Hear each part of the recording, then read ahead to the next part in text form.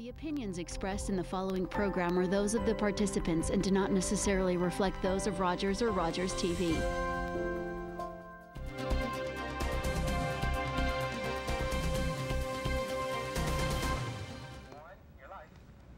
And welcome back to Cable 10 Live. I'm your host, Natalia Arboleda, and welcome to another segment of the Health Zone.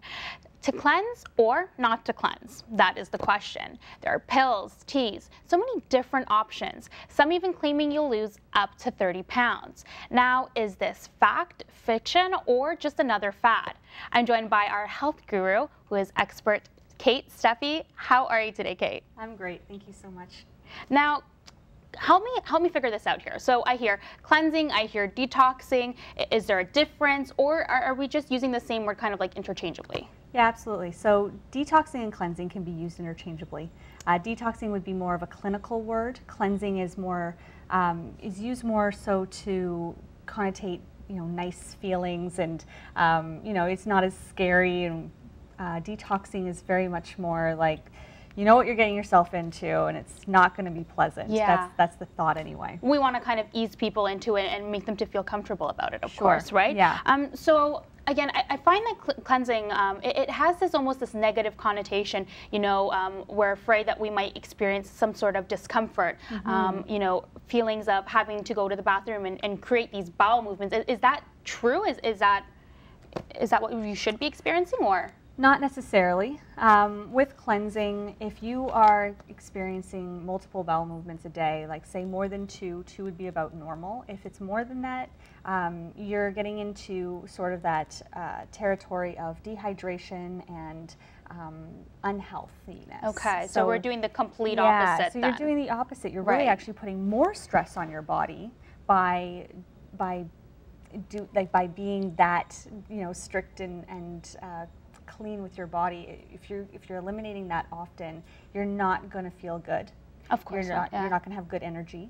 And you, you are likely setting yourself up for dehydration, among other issues. I mean, multiple bowel movements per day can can mean um, gastrointestinal issues. So then what is the main goal of, you know, doing a detox? Am I going to in fact lose those 30 pounds or, or whatever it is that, that these products or these um, programs are claiming? Well, with uh, some cleansing, and they're claiming these crazy amounts of weight that you're going to lose. Um, in a in a typical scenario, no, it, that's not typical weight loss. Now, a lot of these things too, you have to be careful. Where which weight is this person starting with?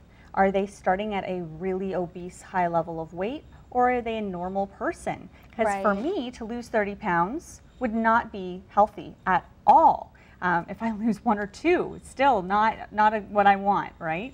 Um, so for some people, they might actually lose that kind of weight, and it's likely what we call water weight. Right, So okay. because you're eliminating a lot, um, you're going to be uh, seeing a lot of water weight coming off, and not necessarily fat, which is what the person really wants to lose. So could the weight loss then, you, you can say it, it's kind of um, one of the effects of doing a cleanse just because you're doing a lifestyle change in that case because part of the cleansing process is making better choices for yourself, is it not? Yeah, absolutely. So with cleansing, it's usually a transition into eating a more healthy diet, uh, a healthier lifestyle, Yeah. and the cleansing um, is it's really good at setting people up for that, uh, rather than being the the be all and end all. So no, so when you're looking at uh, 30-day cleanses and you're not eating any food and you're just drinking these concoctions or something, um, it's not necessarily going to be very healthy for you. You need to be making sure that you get those nutrients in. So if we're so what you're saying as well then I, I guess so foods are, are detoxifying. What sorts of foods should we be you know picking up at the grocery store? What can I do today that's going to get me started? So if you want to use the food sort of cleansing, which Right. is what I always recommend, and which I think is fantastic. I love food. I'm, I'm Yeah. totally good with that. That's, that sounds yeah, more fun we're, to me. We're okay. doing good with food. Right. Um, you're going to look for green leafy vegetables and herbs. Uh, there's specific types of herbs and uh, like cilantro and parsley are very detoxifying. Um, anything green and leafy. You want to head straight to that, that area of the grocery store. You want to look for kale, for broccoli, for uh, lettuce, romaine lettuce, um, anything like that. We came up when we were talking over the phone um, some really great helpful hip, um, hints and tips um, that people can do at home right away. Um, I know at the beginning you were saying like what what would you how would we jumpstart that if we wanted to start something things that we can do at home. Yeah, sure. So for what people would want to go through is they want to clear the clutter out of their life. Yes. So you want to make sure that you're getting rid of all of that um, Oh excess junk. Getting you rid of the Oreos? rid Are you telling me I got to get rid of the Oreos? okay, so we're going to clear the clutter. Clear the junk. So, I mean, and that goes for your kitchen, that goes for your space. So, if you have a really messy living space, you're not going to feel very energetic. You're going to feel a little bit bogged down. Right. So, clear that clutter too. Okay. And then clear the mind clutter. So, if you're negatively talking about yourself or anything like that, you want to clear those things as well and uh, feel positive because what you're doing is going to be really great for you. Right. Yeah. Anything else? So then after that, we've gotten rid of all those things. Now we have to replace all Right, that that's the food with the good store. stuff, right? So Mhm. you want to get to the grocery store after you take all the processed foods, all the sugar out of your diet. I know it sounds so horrible, no more Oreos, but you're going to go to the grocery store and grab um, all the the you know lettuces and you're going to grab your fruits and your veggies and Herbs, herbs, right? Yep. Chlorophyll, Beets, nice and- beets are fantastic for your liver. Get a whole big bag of lemons. Um, lemon water is absolutely fantastic. It stimulates the liver and really helps to clean um, the liver and also other organs as well, keeping you hydrated because the more water you drink, the more the more cleansing is going to actually happen. There's some other or, um, different foods that are really, really helpful in a cleanse as well. Anything that has um, high fiber content. So things like lentils actually per gram of food have the highest amount of uh, fiber than anything else. Um, so really easy source of fiber and protein and carbs and it's just it's a great powerhouse food.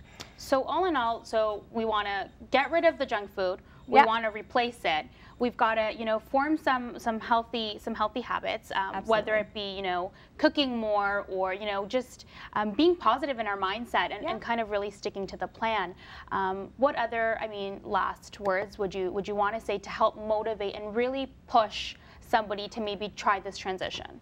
So the biggest thing for people to know is that you don't have to do this alone. Get some support, and that can be from a really good friend, a family member, or from a nutritionist. I mean, holistic nutritionists are trained in helping people through this cleansing process, and it's a really great way of making sure that you meet those goals because accountability is really where it's going to Right. make the difference for you. Fantastic. Well, I think we've got so- you know a really great idea of you know what cleansing is and, and why we should do. And I really appreciate you coming in today.